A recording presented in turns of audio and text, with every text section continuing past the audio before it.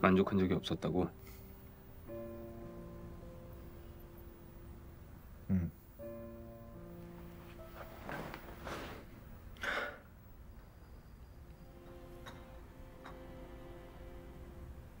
나랑 잔거 즐긴 적이 없다고? 아니 즐겼지. 네가 좋아하니까.